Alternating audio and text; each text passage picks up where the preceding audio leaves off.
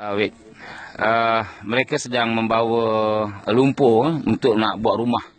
Inilah antara uh, cara mereka uh, membuat rumah uh, di salah satu camp di Bangladesh. Uh, mereka adalah di antara etnik uh, Rohingya yang uh, mungkin barangkali baru tiba. Kalau ni saya akan cek dengan guide nanti.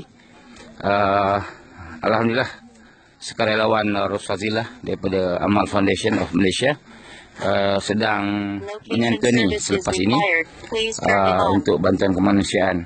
Eh, anak sekecil ini yang tadi kami tanya lebih kurang umur uh, 8 tahun.